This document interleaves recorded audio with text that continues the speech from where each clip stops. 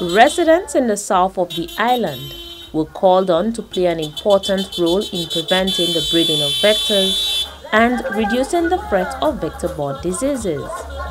Medical Officer of Health Dr. Glensford Joseph says Despite environmental health professionals providing valuable information on vector control, it is also the responsibility of residents to participate in integrated measures to eradicate vectors.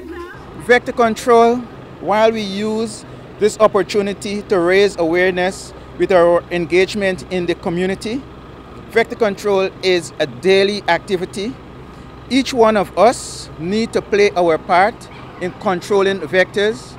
Each one of us, with the little contribution we make in our homes, in our immediate environment, our yards, in um, the workplaces, collectively, we can, as a country, reduce the population of vectors, more so mosquitoes and rodents, and as a result, reduce the incidence or the number of new cases of vector-borne diseases that we are having in St. Lucia. Assistant Chief Environmental Health Officer Cheryl Eugene St. Roman says it is important that community members work together to eliminate vector breeding grounds and protect themselves from vector-borne diseases. I want to continue telling people that we cannot do it alone. That is the Ministry of Health, Wellness and Elderly Affairs.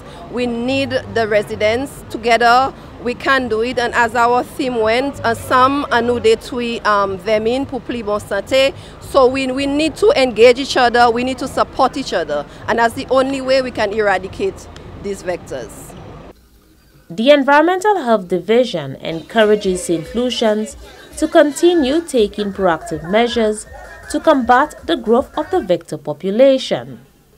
Reporting from the Communications Unit of the Ministry of Health, Wellness and Elderly Affairs, I am Fennel Neptune.